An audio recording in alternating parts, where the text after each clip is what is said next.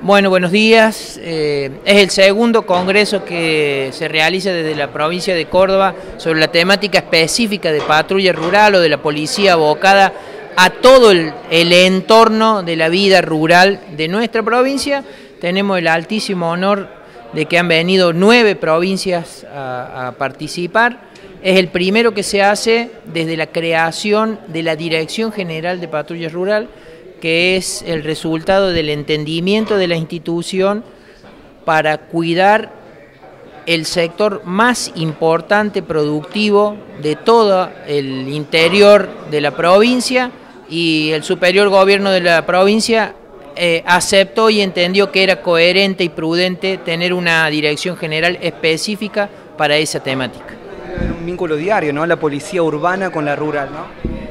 Estamos en permanente conexión no solo porque mm, hoy en día con la dinámica de la vida en comunidad ya no tanta gente vive en el campo, entonces el productor rural vive en la ciudad. Esa es una forma.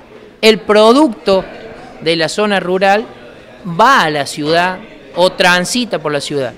A veces nos quedamos con una visión muy sectorizada o porciones mínimas, pensamos que puede tener solo que ver con granos, o solo con ganado.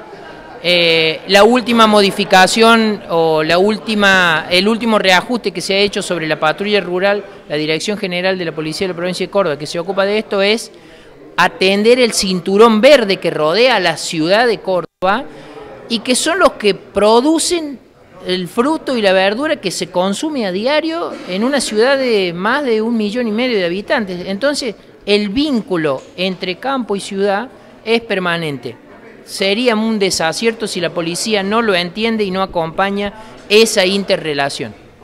un poco, un joven que quiere ser policía, eh, pasa primero por la policía urbana, después va a la rural. ¿Cómo se accede a la dirección de patrulla rural?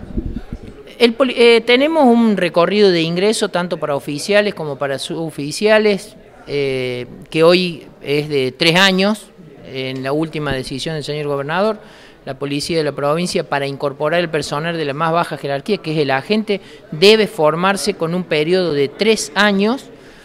Durante ese recorrido él aprende las generalidades de todas las áreas que, que les pueden tocar en su destino policial, la seguridad ciudadana, la parte urbana, la parte rural, las especialidades como pudieran ser las unidades de alto riesgo, la, el área investigativa y luego de eso se trata de detectar quiénes son los que tienen perfiles y voluntad para ir a esos destinos. Entonces, luego van haciendo su carrera y especializándose, no acaba con el ciclo de formación, sino que periódicamente espacios como este permiten especializar y profesionalizar al personal en las distintas temáticas.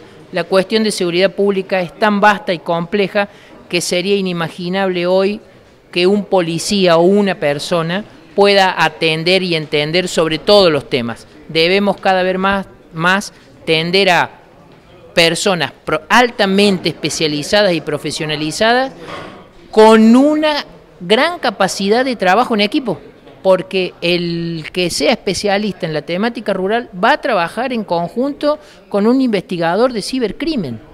Eh, a la par. Entonces, esos dos mundos que parecieran estar inconexos, al final del día no son más que lo mismo que llevarle una mejor seguridad a los cordobeses. terminar, ¿qué apoyo le puede dar la, policía de la provincia a este grupo de apoyo justamente policial que está construyendo esta planta alta que vi, que lo conoció también, conoció los proyectos. Estuvimos, eh, estuvimos este, interesantísima y amena charla con el intendente, eh, recorriendo la, reforma y las mejoras en el edificio de, donde tiene asiento tanto la comisaría de aquí de General Dehesa como la base de la, de la jefatura de zona.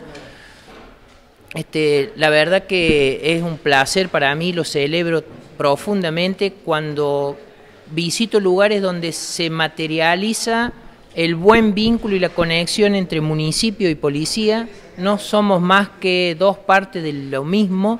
Eh, queremos que el vecino de General de esa tanto el que vive en el casco urbano como el que lo rodea viva mejor y para eso el municipio pone su parte, la policía pone su parte. Estuvimos dialogando para poder avanzar sobre algunas mejoras en, videovigilancia, eh, la policía cuenta con un área específica, entonces vamos a trabajar en conjunto, asesorar para que el municipio que tiene planeado inversiones en ese tema vayan en consonancia con lo último en tecnología y con, lo, y con los criterios de seguridad que se están aplicando.